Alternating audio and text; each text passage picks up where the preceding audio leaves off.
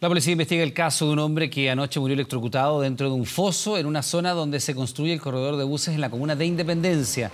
Vecinos y autoridades reclamaron por el retraso de estas obras. El fallecido, un hombre de entre 30 y 40 años de edad y que aún no es identificado, habría ingresado al lugar presumiblemente a robar cables. A raíz de ello sufrió una fuerte descarga eléctrica, quedando con quemaduras en el 50% de su cuerpo, lo que provocó la muerte dentro de la misma cámara, debiendo ser rescatado por bomberos. El sitio de esta tragedia está emplazado en un sector donde reina la oscuridad durante la noche y colindante con las obras de construcción del corredor del Transantiago en la avenida Independencia.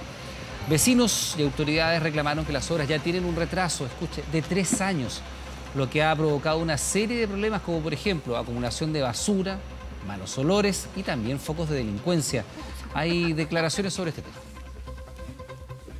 Hay un sector, un cable que está electrificado que está tapado con una tapa de madera. Hay una cantidad, pero enorme, de hoyos que están tapados iguales. Aquí esto es un peligro público para cualquier persona que aquí ande. Aquí se está construyendo el corredor de transporte público de la Avenida Independencia, un proyecto que tenía un plazo de 18 meses y justo en este momento se cumplen 36 meses. Y es completamente inaceptable el retraso que esta obra ha tenido y las condiciones en que se mantiene que ustedes han podido observar.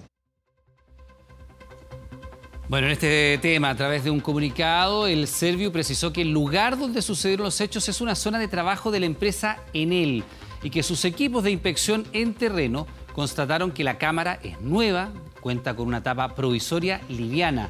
Asimismo, aseguró que el proyecto del corredor tiene un avance del 83% y que el 16 17% restante responde a la gestión que otras compañías de servicio deben llevar a cabo para finalizar las obras.